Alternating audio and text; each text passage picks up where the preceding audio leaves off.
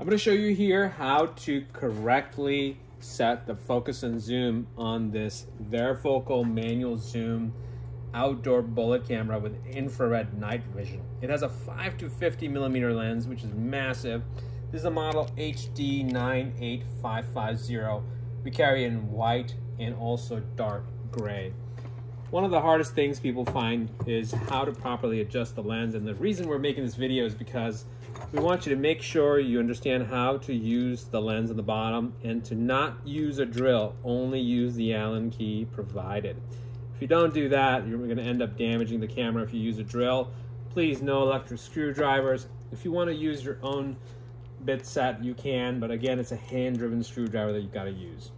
Now, I have the camera here laying on the desk and I'm going to show you how to focus it while I do it so you can watch what's happening.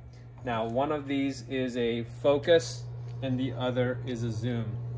Sometimes they might even be mislabeled from the factory. It happens depending on the batch that they're producing. But in this case, this, this one's zoom, this one's focus. So the zoom is closest to the front end of the camera and the focus is in the back. The way to correctly uh, focus and zoom is first you zoom in. So let's go back and take a look. I'm going to use my screwdriver. I'm going to turn clockwise and counterclockwise to explore how much room I have for adjusting. So right now I'm all the way, I did clockwise turn. Actually, I'm doing a counterclockwise turn. That zoomed it in and a clockwise turn made it wide angle. So I went to all the way to the widest angle by doing a clockwise turn. Now if I try to focus it, I really don't find a good sweet spot for focus. It's actually, it's actually losing focus more as I do it. So what you have to do is you have to dial back. So clockwise was focusing, counter uh, sorry, clockwise was zooming out a wide picture, now I'm going to go towards a tele picture, which is counterclockwise turn, and I'm going to take about one full turn. And then I'm going to go back to the zoom lens and do a clockwise turn on it until I can reach its limit, being very gentle with this. Do not try to turn it like a piece of furniture. You're going to break the lens mechanism. Once you do that, there's no way we can repair that and you void your warranty. We test every single camera here under video surveillance before we ship it to you to make sure it's working so we know it, went, look, it went out in, operate, in operational condition. So now that I have did a clockwise turn and I'm trying to focus it, I'm not getting a good picture. I went counterclockwise, makes it lose more focus. So what you need to do is go back to the zoom, go counterclockwise more, and find the good sweet spot that your zoom lines up with your focus.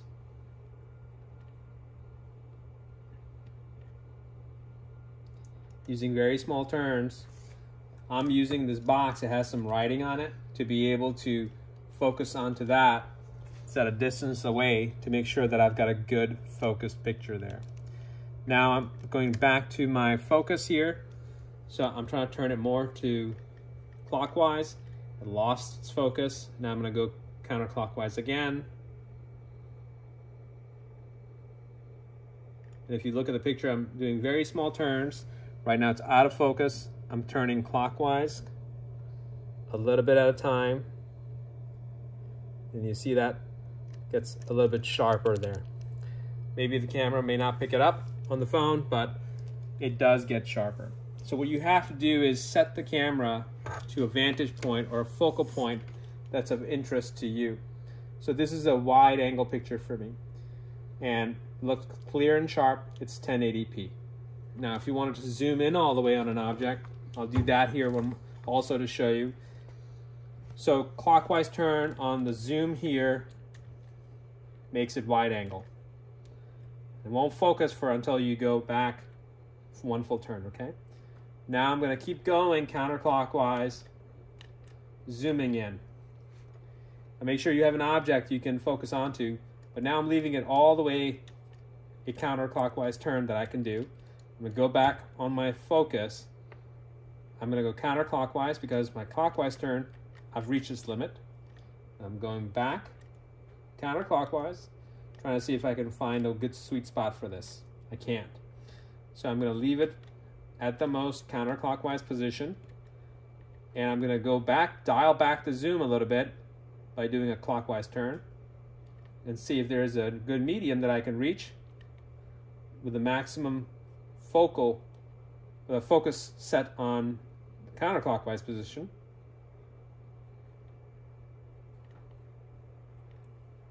And I'm going back all the way. I, I, I zoomed it back out. I'm going to go back one more time. I did a full counterclockwise rotation to its limit. Then I just did a one turn back away from that limit. And now I'm doing a clockwise turn on my focus to focus it in. Being very gentle because if you push this too hard, you will break the lens. So now my focus is all the way clockwise turned. I'm going to now dial back out a little bit more on my zoom and went out of focus, go back in the other direction. And now I can actually read this box. It says U-line 16 by 12 by 12. So that's how you focus these cameras. To make sure you do this correctly without breaking the lens on the camera. So this is focused at a certain object and a distance. For you, it'll depend on what you're looking at, what's your view. I'm just using objects to focus this lens on. So this is for a really, really far away zoomed out viewing at this distance. If you're up on a ladder and you're doing this, it's going to be challenging, but use a screwdriver with the proper bit if you can't use the Allen key, it gives you more dexterity and gives you more feedback on it so you don't break the mechanism. Please don't break that because if you do, it's not going to be covered by warranty. Like I said, we do check it before we ship it out to keep everybody honest. Thanks for watching. If you're watching on YouTube, don't forget to like, comment, and subscribe.